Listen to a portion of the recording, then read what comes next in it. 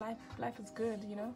Um yeah i'm at peace with it because i did it anyway. A failure is not it's not a waste. It does it's a failure is not just that. You don't just limit a failure to it being a failure. It's also a lesson.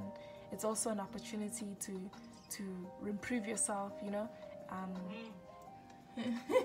whatever it is that you possibly have that you want to take do you, you want to um do and you're scared of doing it for whatever reason maybe the devil also wanted to sing songs for you.